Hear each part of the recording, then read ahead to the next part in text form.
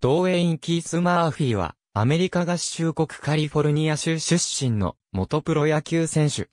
ベースギター奏者でもあり、MC ハマーのファーストアルバムのリリースに際しては、資金を提供した。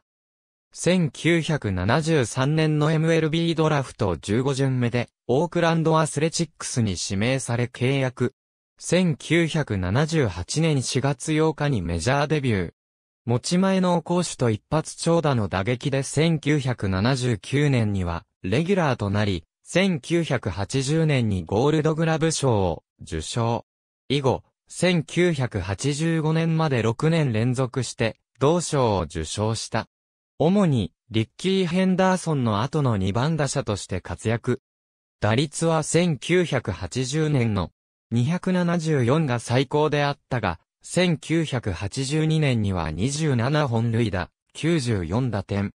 1984年には33本塁打、88打点と次第にホームランバッターに成長。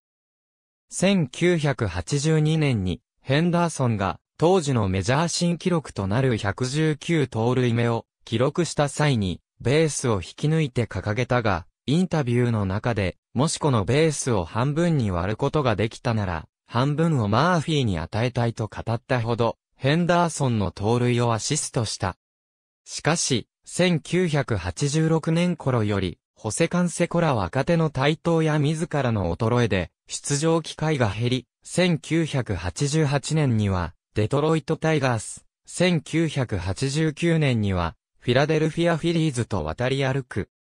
1990年に野村克也を新監督に迎えたヤクルトスワローズが、野村の希望したセンターラインの強化を目的に、前年のセリーグ本塁打王ラリー・パリッシュ一塁一を解雇してまで獲得。開幕から5月9日までは4番打者として起用されたが、不振のため5番、さらに6番に降格。5月24日の出場を最後に故障のため欠場し、8月に解雇された。アスレチックスの地元オークランドでは引退後も長い間有名人であった。1998年から2003年までアリゾナダイヤモンドバックスの打撃コーチを務めた。2008年にトロントブルージェイズの一塁コーチに就任し、2010年からは打撃コーチを務め、積極的にフルスイングする打線を作り上げた。その結果、2010年のブルージェイズはチーム出塁率がリーグワーストにいながらも、両リーグ1位の257本塁打を記録した。ありがとうございます。